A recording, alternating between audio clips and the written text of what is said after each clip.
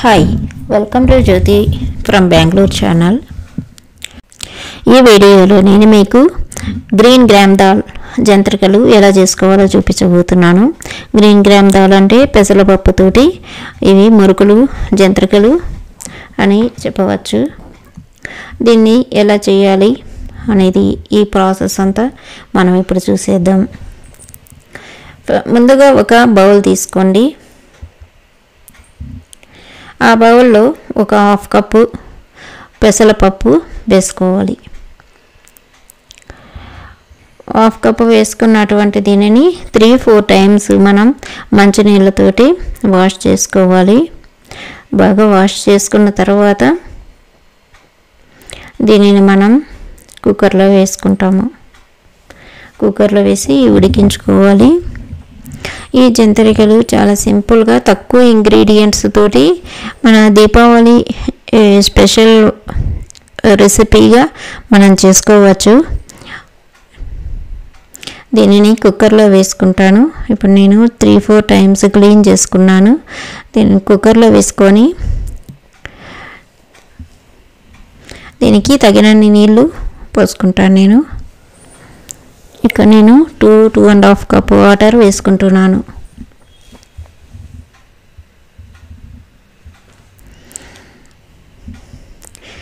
కొంచెం పసుపు అలాగే కొంచెం ఉప్పు కూడా వేసినట్లయితే మన పెసరపప్పు మెత్తగా ఆ పప్పుకి ఉప్పు పట్టి బాగా ఉడుకుతుంది. దీనిని ఇప్పుడు స్టవ్ మీద పెట్టి ఉడికించుకుంటాను. పెసరపప్పు కాబట్టి ఈ హాకిన్స్ కుక్కర్లో వన్ టూ విజిల్స్ సరిపోతుంది. మీరు మెత్తగా ఉడకడానికి మీరు డైలీ ఎలా పెట్టుకుంటారో అలా పెట్టుకోండి. ఇప్పుడు ఇంకొక బౌల్ తీసుకొని ఒక కప్పు రైస్ ఫ్లోరు అంటే బియ్యం పిండి ఒక కప్పు మైదా పిండి వేసుకుంటున్నాను. ఇవి రెండు మిక్స్ చేసుకోవాలి. మనకు అర్ధ కప్పు పెసరపప్పుకి ఒక కప్పు సేమ్ కప్పుతోటి ఒక కప్పు బియ్య పిండి ఒక కప్పు మైదా పిండిని తీసుకొని ఇవి రెండు మిక్స్ చేసుకొని మీరు ఇడ్లీ కుక్కర్లోనైనా రైస్ కుక్కర్లోనైనా పెట్టుకోవచ్చు దేనిలో అయినా పెట్టుకోవచ్చు.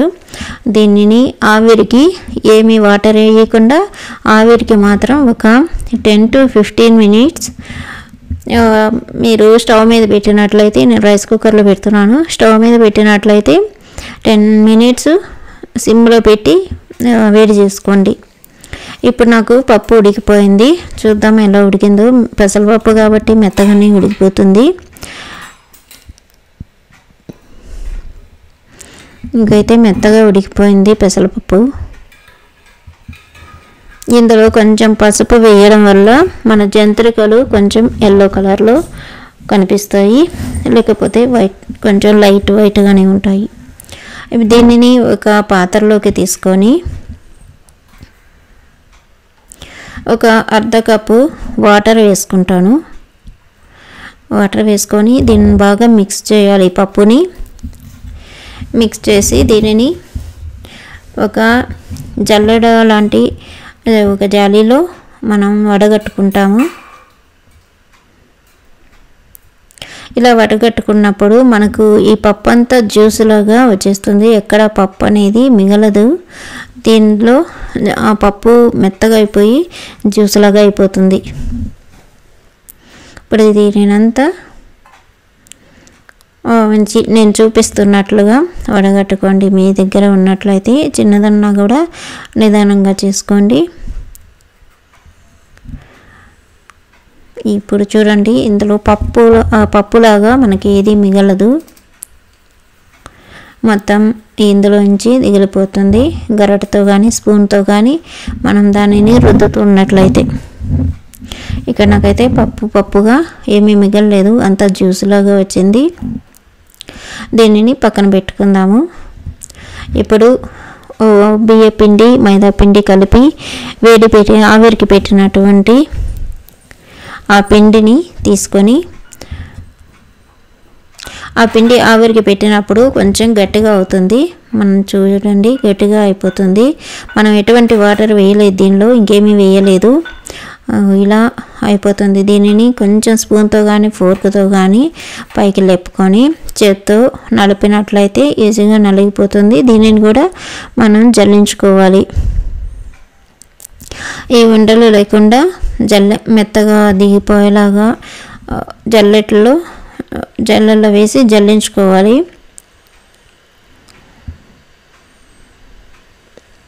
ఇలా ఆ పిండి మొత్తం మనం కొలతలతో తీసుకున్నాం కాబట్టి ఈ పిండి మొత్తం జల్లించుకునేస్తాము.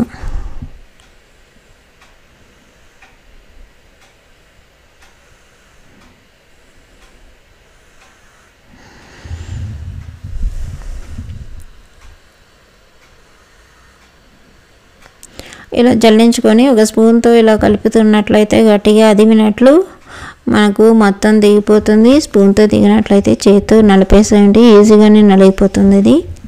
ఇలా జల్లించుకున్న మొత్తం పిండిని మనం దీనిలోకి ఏం వేయాలి అంటే ఫస్ట్ తగినంత సాల్ట్ వేసుకోవాలి. ఆల్రెడీ పప్పులో సాల్ట్ వేసాం కాబట్టి చూసి వేసుకోండి తక్కువ వేసుకోండి. నార్మల్గా జంత్రికలు కానీ మురుగులు కానీ చేసేటప్పుడు కొంచెం తక్కువ ఉప్పే వేయాలి.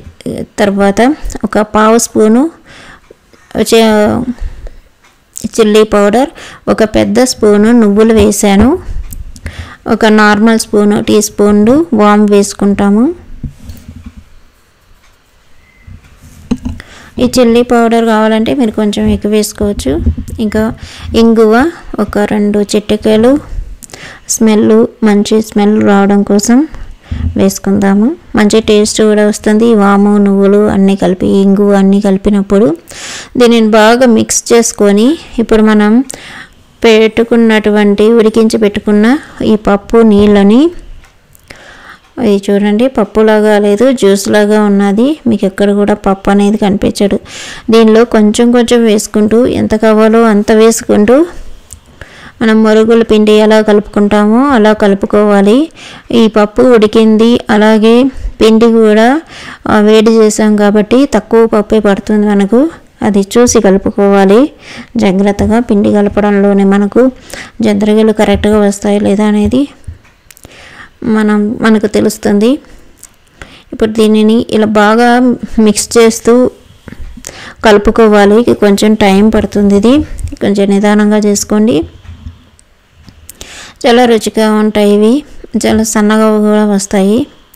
ఇలా బాగా మీరు ఎంత పిండిని ప్రెస్ చేసినట్లయితే కలిపినట్లయితే అంత బాగా వస్తాయి ఇవి.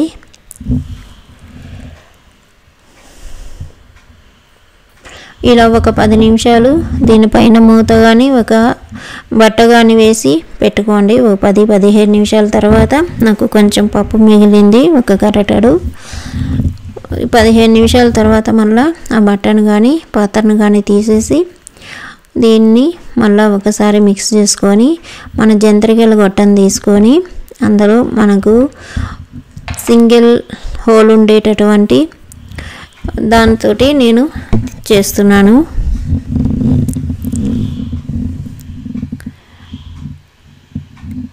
ఇది నాకు సింగిల్గా ఉన్నది. చాలా చిన్న హోల్ ఉంటుంది. అందుకని నాకు సన్నగా వస్తుంది. మీరు ఎప్పుడైనా కొనుక్కునే వాళ్ళు ఈ చిన్న చిన్న హోల్స్ ఉండేదిగా కొనుక్కోండి. పెద్ద పెద్ద హోల్స్ ఉండేవి కొనుక్కోవద్దండి. కొత్తగా కొనుక్కునే వాళ్ళు అవి ఏమవుతాయంటే లావుగా వస్తాయి. త్వరగా పైన మాడిపోతాయి. లోపల ఉడకకుండా వస్తాయి. కాబట్టి కరకర రా కరకరలాడుతూ రావాలంటే మనం చిన్న హోల్స్ ఉండేటటువంటి చింతరగిల గొట్టంని తీసుకోవాలి. నేను చూపిస్తున్నట్లుగా దానిలో లోపల పిండి పెట్టుకొని మీరు స్లోగా ఒక బటర్ పేపర్ తీసుకొని దాని మీద ఇలా రౌండ్ షేప్లో తిప్పుతూ ఒక ప్రాక్టీస్ లేని వాళ్ళకి ఒక రెండు మూడు చేసినట్లయితే పక్కన ఆల్రెడీ నేను ఒకటి చేశాను. ఎలా వస్తుందని?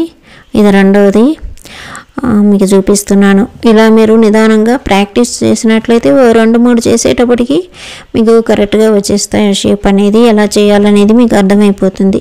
ఇప్పుడు ఫస్ట్ చివర ఇవి రెండు కొంచెం ప్రెస్ చేసేసుకుందాం పిండితోటి. అవి విడిపోకుండా ఇలా ఒక నాలుగు బటర్ పేపర్స్ మీద వేసుకుంటాము.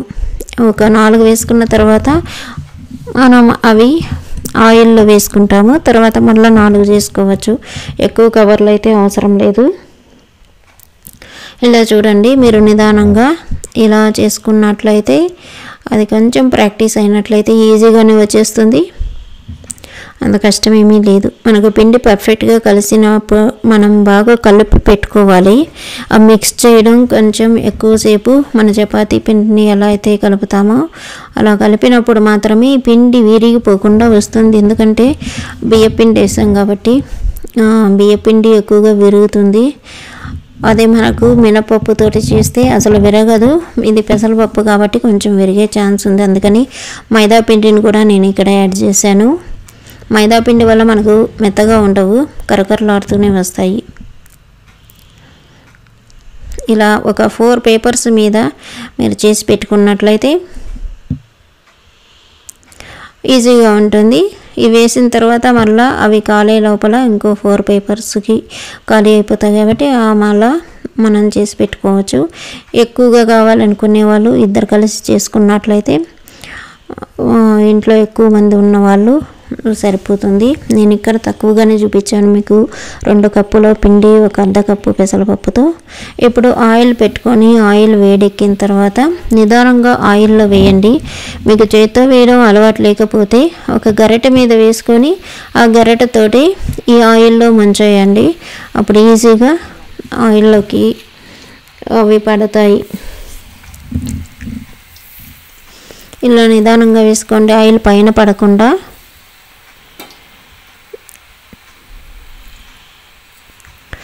ఇవి త్వ- సన్నగా వచ్చాయి కాబట్టి త్వరగానే కాలిపోతాయి.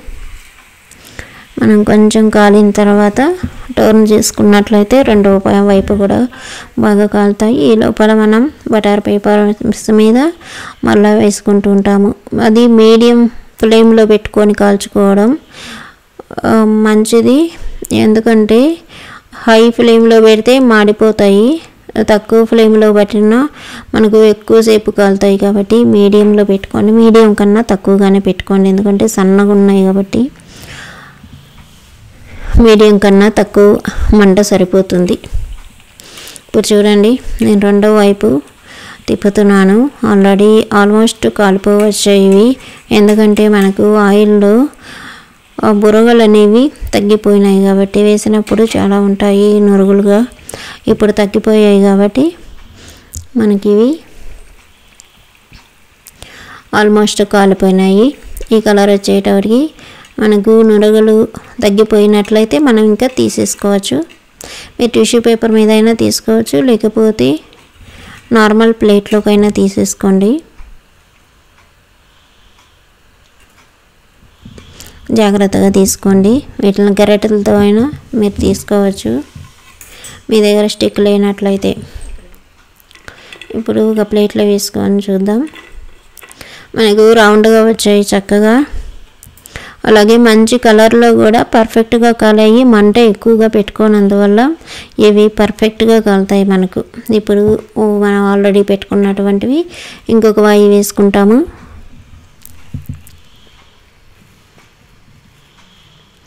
జాగ్రత్తగా వేసుకొని చేత్తో వేసేవాళ్ళు. చేత్తో వేయలేని వాళ్ళు ఒక గరిట మీద చిల్లుల గరెట మీద వేసుకొని ఆ చిల్లుల గరిటతోటి వేయండి. పైన పడకుండా ఉంటుంది ఆయిల్. చూసారు కదా? ఈరోజు పెసరపప్పుతోటి జంత్రికలు చాలా చక్కగా వచ్చాయి. అలాగే మీరు లేయర్స్ లెక్క పెట్టుకొని four layers seven layers eleven layers ఇట్లా కూడా మీరు ప్రాక్టీస్ని బట్టి వేసుకోవచ్చు. నేను ఇక్కడైతే ఫోర్ లేయర్స్ది వేసాను ఫోర్ ఫైవ్ లేయర్స్ నాకైతే చక్కగా వచ్చాయి మంచి కలర్లో కూడా వచ్చాయి. మీరు కొంచెం రెడ్డిష్గా కావాలంటే అలాగైనా కా కాల్చుకోవచ్చు. కొత్తగా చూస్తున్న వాళ్ళు నా ఛానల్ని సబ్స్క్రైబ్ చేసుకోండి. ఇక్కడ నేను నైన్ లేయర్స్ సెవెన్ లేయర్స్ని ఒకటి వేసాను చూడండి నువ్వులంతా బాగా కనిపిస్తాయి నా ఛానల్ వీడియో నచ్చినట్లయితే లైక్ చేయండి అలాగే షేర్ చేసుకోండి.